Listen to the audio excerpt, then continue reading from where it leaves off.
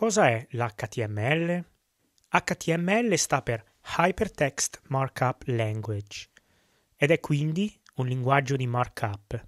Come dicevamo prima, l'HTML non è un vero e proprio linguaggio di programmazione, come per esempio JavaScript, siccome non contiene nessuna logica al suo interno. Piuttosto, l'HTML serve a descrivere i contenuti che compongono un documento.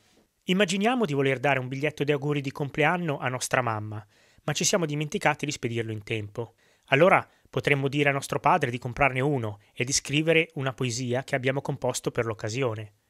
Però visto che siamo dei perfezionisti e sappiamo che nostro padre non è proprio conosciuto per la sua innata capacità di rendere un testo scritto piacevole alla vista, al telefono, oltre al contenuto del messaggio, gli diciamo di scrivere il titolo della poesia in un carattere più grosso, poi scrivere il testo della poesia andando a capo al punto giusto, alla fine di ogni strofa, e infine di firmarlo, cercando di utilizzare la nostra calligrafia. Il compito dell'HTML è quello di riportare i testi insieme alle indicazioni relative a come questi testi debbano essere strutturati, non dal punto di vista grafico, quello è compito del CSS, ma piuttosto del ruolo che i vari testi svolgono all'interno del documento.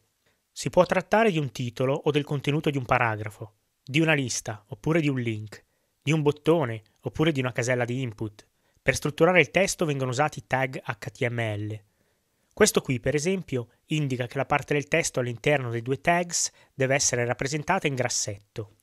Ora, i tag HTML sono tanti. Alcuni vengono usati spesso, mentre altri raramente o mai. Durante questo corso vedremo i tags principali e poi, facendo degli esercizi o costruendo delle pagine web, ne vedremo di nuovi se li incontreremo. Prima di costruire la nostra prima pagina HTML abbiamo però bisogno di definire il nostro ambiente di lavoro. Lo vediamo nel prossimo video.